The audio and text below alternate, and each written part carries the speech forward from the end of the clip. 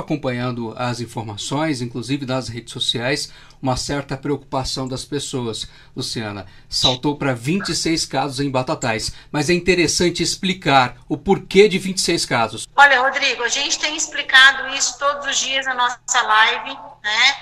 É, porque a gente não só coloca o, o boletim, mas também explica os dados, uhum. né? A gente tem colocado que casos vão acontecer, né? Porque a gente tem o vírus circulante. Nesse momento, a gente tem várias pessoas que não é, contraíram o vírus aqui. Por exemplo, nós estamos com quatro ou cinco policiais que vieram de São Paulo já com o teste positivo. Porém, como eles moram aqui em Batatais, é, esse caso vem para o nosso boletim, certo? Certo. E nós também temos feito um trabalho é, de testar os contactantes.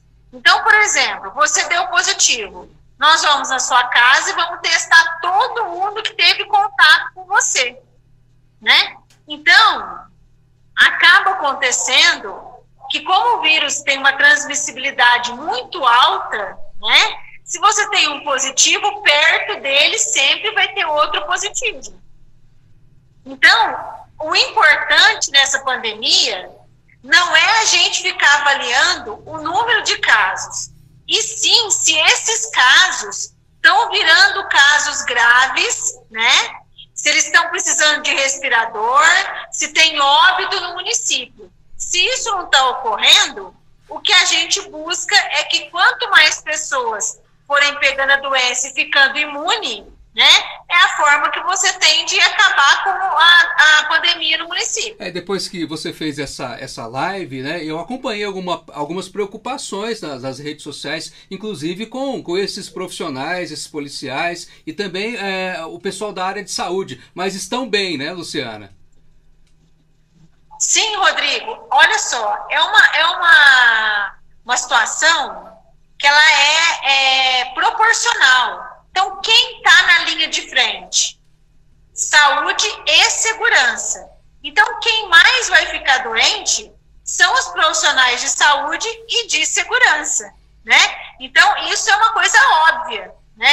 Quem está na linha de frente do combate vai adoecer mais inclusive do que as outras pessoas. Só para finalizar então essa entrevista, eu sei que você tem alguns compromissos, casos em Batatais hoje. Confirmados. Desses 26 casos, nós temos dois casos internados na enfermaria, né? Porque são pessoas que a gente acompanha diariamente. E se elas têm alguma mudança no quadro, como falta de ar, alguma coisa, a gente acha melhor é, internar para que a gente possa verificar mais de perto esses sintomas. As outras pessoas, nós temos aí é, 14 pessoas que já estão curadas, né? E das 12 pessoas que estão em tratamento, somente duas estão internadas, não necessitando de, de respirador, né? Elas não estão em UTI, estão no leito normal e 10 estão em casa, muito bem, sem, praticamente sem sintomas. Secretária, muito obrigado. Uma